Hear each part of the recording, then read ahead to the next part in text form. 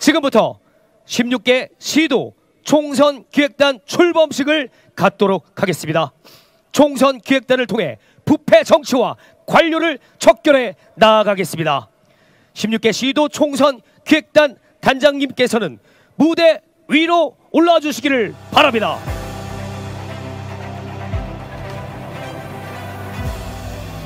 이제 대한가로협회 김영경 회장님을 무대로 모십니다.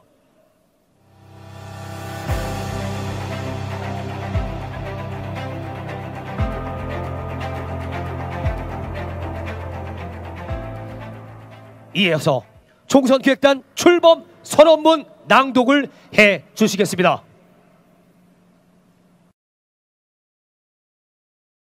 (2023년 5월 16일) 윤석열 대통령이 자신의 공약인 간호법을 거부하는 초유의 사태가 발생했습니다.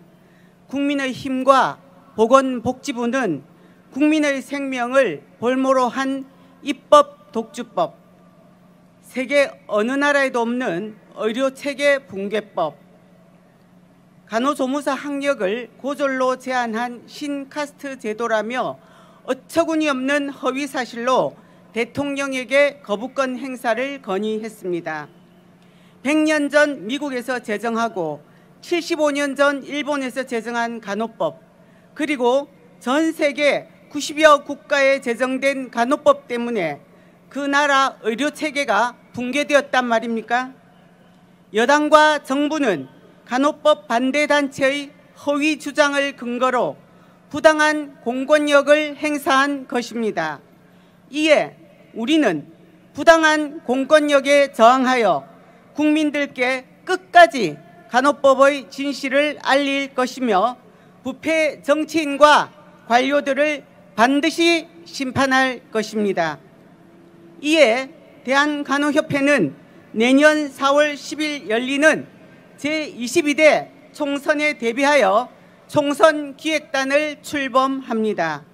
앞으로 총선 기획단은 대통령의 눈과 귀를 막았던 후한무치한 탐관 오리들, 즉 입법 독주라는 가짜 프레임을 만들어낸 자, 간호법에 대한 허위사실 유포를 주도한 자, 간호법을 대표 발의하고 비겁하게 국정활동을 포기한 자들이 다시는 국민의 대표가 될 수 없도록 심판할 것이며 이를 위하여 우리 50만 간호사와 12만 간호대학생은 다음과 같이 선언합니다. 하나, 우리 62만 간호인은 다가올 총선 투표에 참여하여 간호법에 악법 프레임을 더 씌운 부패 정치인들을 반드시 심판한다. 하나, 우리 62만 간호인은 모두 1인 1정당 가입에 동참한다. 하나, 우리 62만 간호인은 올바른 간호 정책을 추진하는 정치인을 지지하며 합법적 정치 후원에 적극 참여한다.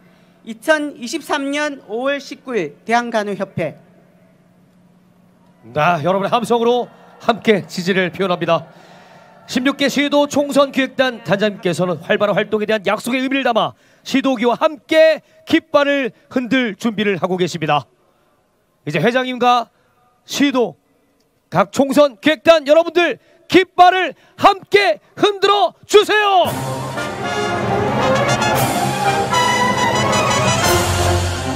총선 기획단 앞으로 대통령의 눈과 귀를 막았던 후한무치한 탐관 오리들과 입법 독점하는 가짜 프레임을 만들어낸 자 간호법에 대한 허위 사실을 유포 주도한 자 간호법을 대표 발의하고 비겁하게 국정운전을 포기한 자 다시는 국민의 대표가 될 수 없도록 심판을 할 것입니다.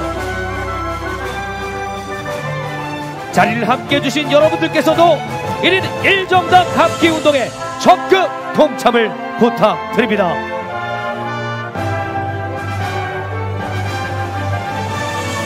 감사합니다. 다시 한번 함성으로 함께 마무리 짓겠습니다.